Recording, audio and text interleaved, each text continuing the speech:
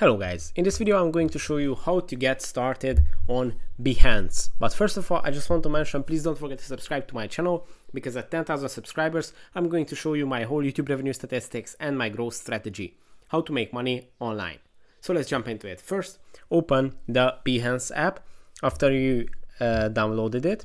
Then you will see this, uh, this uh, page where you have to choose some of your interest. So it says, what creative fields would you like to see work from?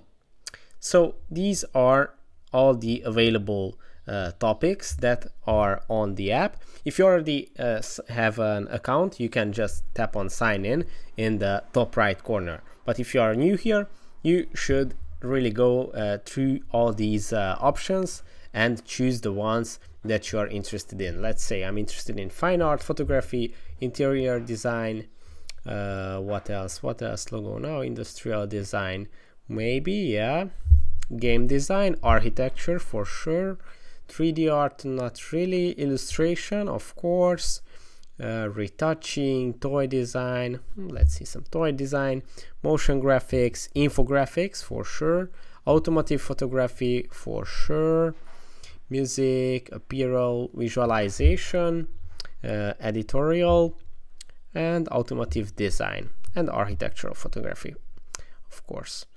And yeah, when you have uh, chosen all the interesting topics that you want, just tap on continue.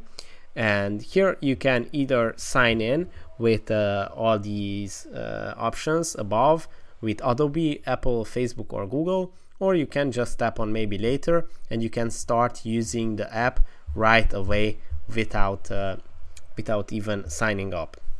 So yeah, that's pretty much it for this video. I hope it was helpful for you. If it was, please consider subscribing and see you in the next one. Bye bye.